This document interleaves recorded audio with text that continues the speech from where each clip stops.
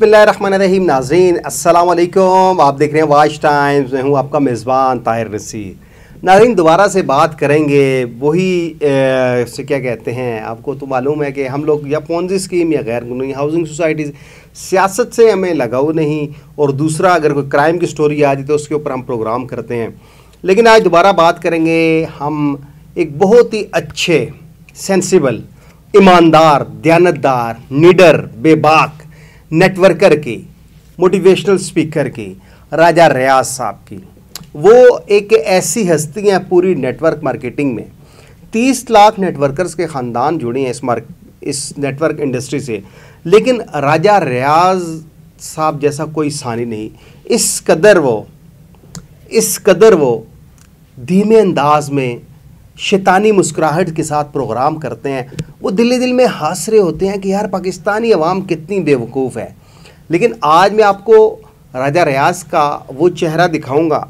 देखिए नाजरीन, हमारा प्रोग्राम है आपको हकाइक बताना। इसके ऊपर यकीन करना, ना करना, ये आपकी अपनी मर्ज़ी है। लेकिन हम तो आवाज़ बुलंद करते रहेंगे। राजा रियाज वीडियोस बनाते हैं बी फॉर यू की और कहते हैं जी आपको पैसे मिल जाएँगे।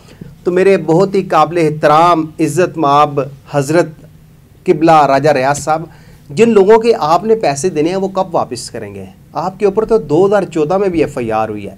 एक तो वो एफ़आईआर में आपको दिखाऊँगा, फिर वो जो मुदई है, उसके मतलब बताऊँगा। फिर राजा रियाज कब गिरफ़्तार हुए थे, इनकी ज़मानत देने कौन आया था, इन्होंने वहाँ पे क्या बयान अल्फी दिया था, ये सारी चीज़ें। और आपको बताएँगे कि इन्होंने किस तरह वहाँ पे आवाम को बेवकूफ़ बनाया।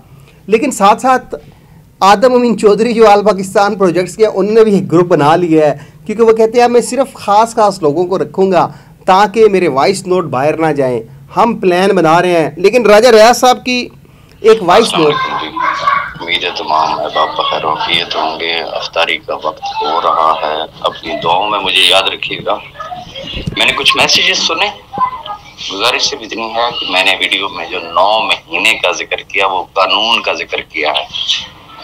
वो सिर्फ़ कानून का ज़िक्र है कि नैब अब पाबंद है कानूनी तौर से कि नौ महीने के अंदर अंदर नैब अब पाबंद है नौ महीने के अंदर अंदर केस को फाइनल करेगा। राजा रियाज साहब, आपके ऊपर 2014 में एक एफआईआर हुई थी 14 मार्च 2014 को। थाना निश्तर कॉलोनी लाहौर में। वो तो छः साल गुजर गए छः साल नहीं, आठ साल गुजर गए। आपने अभी तक उनके पैसे नहीं दिए। आपने, आप यहाँ पे बी फॉर यू के लोगों को तसलियाँ दे रहे हैं। जिन लोगों के आपने पैसे देने हैं, आप वो पैसे कब वापस करेंगे? अभी आपका आगे थोड़ा सा वॉइस नोट और सुनते हैं, जिसमें आप कुछ और चीज़ें भी फरमा रहे हैं, क्योंकि आवाम को थोड़ी सी हकीकत मालूम होनी चाहिए। इसकी क्लोजिंग करे। किसी को ये पता है कि केस चलते हुए कितने महीने गुजर चुके और बाकी कितने रह गए सिर्फ़ एक लफ्ज को पकड़ के रीजन के दिमाग की दही और लस्सी बनाना हमारा कौमी फरीजा बन चुका है। राया रियाज साहब, क्या आपने गरीब इमरान के दिमाग की दही नहीं बनाई थी, लस्सी नहीं बनाई थी? उनको सुहाने ख्वाब नहीं दिखाए थे? ये जो आपके ऊपर थाना निश्तर कॉलोनी में एफ़ आई आर हुई आप गिरफ़्तार कैसे हुए? बड़े ड्रामाई अंदाज में राजा रियाज साहब गिरफ़्तार हुए। किस गेस्ट हाउस से गिरफ़्तार हुए वो भी हम आपको बताएँगे। लेकिन जो वो एफआईआर है, उस एफआईआर का जो मतन है, मैं वो पढ़ रहा हूँ ताकि आप लोग जो मम्बरान हैं, गरीब पाकिस्तानी मजबूर अवाम है, जिनको इन नसरबाजों ने लूटा है, उनकी असलियत आपको मालूम हो कि ये लोग कैसे कैसे फ्रॉड करते हैं, कैसे कैसे पाकिस्तानी अवाम को धोखा देते हैं, ये सारी चीज़ें आपके सामने रखना बहुत ज़रूरी हैं, ताकि आपको भी मालूम हो सके कि ये जो नौसरबाज हैं ये किस तरह का काम डालते हैं? यह अब थाना निश्तर कॉलोनी की एफ़ आई आर है। इसके मदई मियाँ अब्दुल वाहिद वल्द मोहम्मद इसहाक पता मकान नंबर चार सौ डी ओब्लिक सैंतालीस, गली नंबर तीन मोहल्ला ग्रीन कॉलोनी कैंची, अमर साधु, लाहौर। इनका फ़ोन नंबर है फोर एटी नाइन एफ़, यानी कि चेक डिसानर की ये एफ़ आई आर है।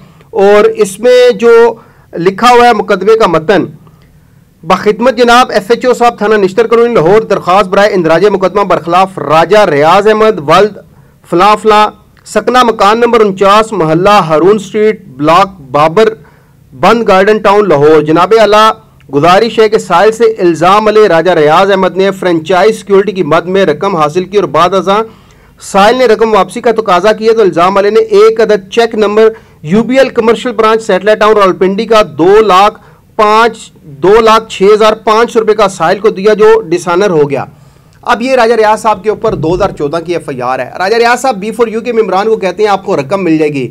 तो मेरे इंतहाई काबिल एहतराम, पाकिस्तान के नेटवर्करों की आवाज़ बनने वाले, खूबसूरत बातें करने वाले, बातों में उलझाने वाले राजा रियाज साहब, आपके ज़िम्मे जो वाजिबुल अदा रकम है, आप इन लोगों को कब देंगे। अब ये सिर्फ़ एक मुदई है अभी इसके पीछे और कितने इफ़ेक्टिव जिन्होंने हमारे से रबता किया है कि राजा रियाज ने हेल्थ एंड वेल्थ इन में किस तरह फ्रॉड किया था, वहाँ पे इन्होंने हनीफ अब्बासी के साथ तस्वीरी सेशन भी करवाया था ताकि, क्योंकि 2014 में आपको पता है, नून लीग की गवर्नमेंट थी और ये जो इस तरह के नौसरबाज होते हैं, ये सियासी छतरी ढूंढते हैं। जिस तरह आप देख लें कि आदम अमीन चौधरी ने अभी रिसेंटली एक स्पीकर कौमी असम्बली के साथ भी उसके साथ मुलाकात की, इसने एक तस्वीर इसकी वायरल भी हुई है।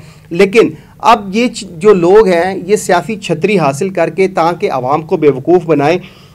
अच्छा इसमें आपको एक और बात बता दें कि राजा रियाज साहब के ऊपर ये एक पहली एफ़ आई आर है जो हम आपके सामने ला रहे हैं। अब इसकी जो मदई है, वो भी हमारे साथ रबते में है।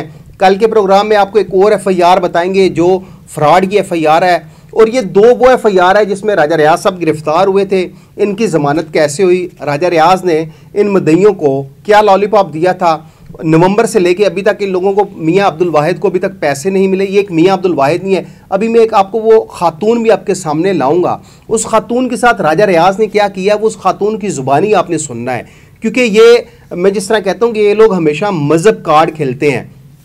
राजा रियाज ने भी सुन्नत रसूल रख के पहले इसकी तस्वीरें देखे तो अल्लाह माफ़ करे। मैंने जिस तरह कहा था कि नेटवर्क इंडस्ट्री में लड़कियों को इस्तेमाल किया जाता है। राजा रियाज की हेल्थ एंड वेल्थ इनकी जितनी भी पोस्टें हैं, वहाँ पे खूबरू हसीनों की तस्वीरें लगाई गई हैं और उसके नीचे बहुत सी चीज़ें लिखी गई हैं कि यानी अट्रैक्ट करते हैं लड़कियों के ज़रिए ताकि ये लोग पैसा कमाएँ। फिर बात यहाँ भी पहुँच जाती है तो कुछ लड़कियों को ये जब यूज़ करवाते हैं तो उन लोगों की वीडियोज़ भी बनाते हैं उन लोगों को ब्लैकमेल भी करते हैं। ये बहुत सी चीज़ें आहिस्ता आहिस्ता आपके सामने रखेंगे। लेकिन राजा रियाज का आज थोड़ा सा चेहरा आपके सामने लाया है कि ये बी फॉर यू के मेम्बरान को जो तसलियाँ दे रहे हैं, इसके आपने वाजबुल अदा 2014 की रकम है 2012 की रकम है, वो तमाम एविडेंस आपके सामने रखेंगे। अब आते हैं नाजरीन, आल पाकिस्तान प्रोजेक्ट्स के मालिक आदम अमीन चौधरी, जो कहते हैं कि पाकिस्तान हमारा है, सारा का सारा हमारा है, क्योंकि हमने इस पूरे पाकिस्तान को लूटना है।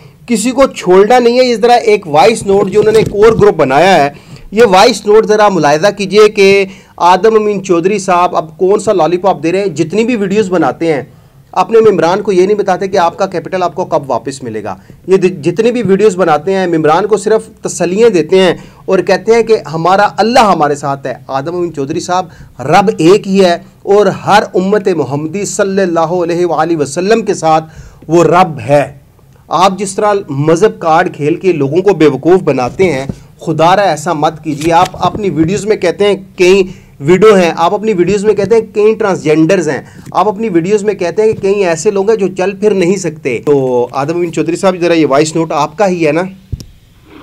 असलम तमाम बहनों भाइयों को अलैक्म करता हूँ उम्मीद करता हूँ आप सब हैरवाफियत से होंगे। Thank you very much for joining the group. Uh, inshallah like मैंने लिखा भी है ऊपर। Uh, सात से लेकर नौ बजे तक हम ग्रुप ओपन करेंगे। You guys can chat. हम सब आपसे बात करेंगे। बेसिकली ये स्टेप करना इसलिए ज़रूरी था क्योंकि बहुत सारे लोग शायद मुझे जानते भी नहीं है लेकिन मेरे बारे में बात करते हैं। तो मैं चाहता हूँ कि आप सब जानते हो कि आप एक्चुअली किसके साथ रहे आप आदम चौधरी साहब, आपकी पहचान कल हमने एक वॉइस नोट सुनाया था जो यूके से हमें मौसू हुआ था। उस शख्स ने सरमद, उसका नाम मालूम हुआ है। उसने आपकी सलीत बता दी है कि आप इंग्लैंड में क्या थे, क्या करते थे। फिर उसने हमें कुछ डॉक्यूमेंट्स भी भेजे हैं, जिसमें प्रॉपर्टीज़ हैं। वो अलहदा से एक प्रोग्राम करेंगे और आप कहते हैं कि जो लोग मुझे जानते नहीं है, मेरे ख्याल से अब आपको लोग बहुत अच्छे तरीके से जान चुके हैं कि आप किस तरह का फ्रॉड कर रहे हैं। क्योंकि आपने माजी में भी स्कैम किया था, आपके आईडी कार्ड्स भी दो थे, उस हवाले से भी हमने प्रोग्राम किया था।